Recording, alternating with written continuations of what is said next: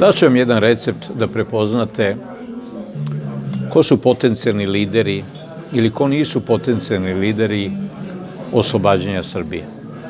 Znate, veliki, moćni Božiji sin, Isus Hristos je imao 12 apostola.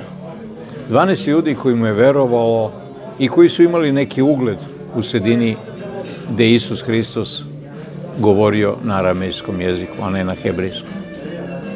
Kada vidite razne lidere koji se pojavljuju na YouTube-u, a oni nemaju 12 apostola, znajte da su prevaranti.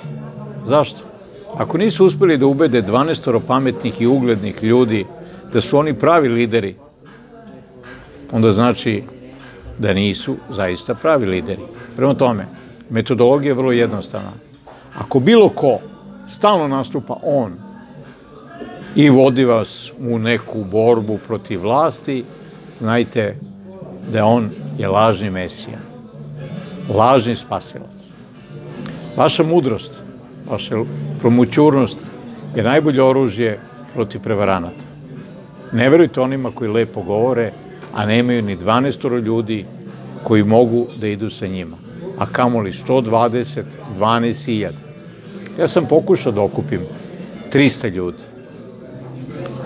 A kako je rekao otac Agaton sa Hilendara, Srbiju neće spasti političke stranke, nego 300 pametnih i uticenih ljudi. Ajde da pozovemo sve te lidere, da se ujedine, da nađu nešto, neku zajedničku tačku oslonca u borbi protiv okupacije. Ne protiv Vučića. Vučić je samo hologram jedan koji sprovodi i govori ono što duboka država traži od njega. Hajde da zaista nešto uradimo svi zajedno.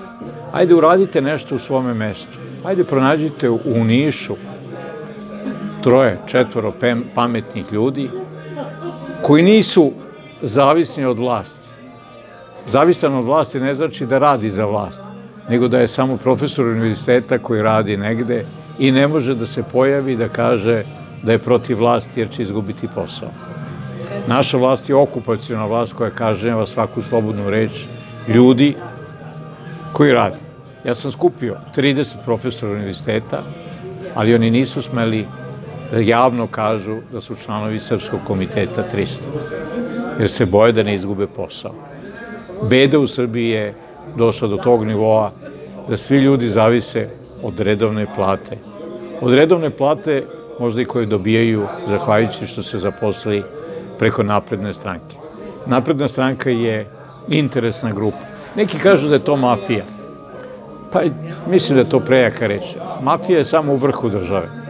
Mafija je naša vlada, naši ministri, sudovi, tužioci koji ne rade svoj posao. Oni su kooperanti mafije. Mafija je postala država. I mi to moramo da budemo svesni. Ali još malo sačekajte. Čim budu se završili izbori u Americi, kada Amerika bude zabavljena sobom, očekujem da će se nešto događati i ovde.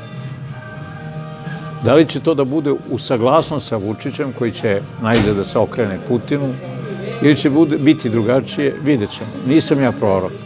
Samo govorimo kako izgledaju raspoređene karte na šahovskoj tabli. Čitajte knjige moje, Dena Lučića, koje se prodaju u Laguni i bit ćete mnogo mudriji bez obzira na školu, ali morate, morate da imate vrlo visok IQ da bih razumeli. Ja volim sve pametne Srbe, a to ste vi.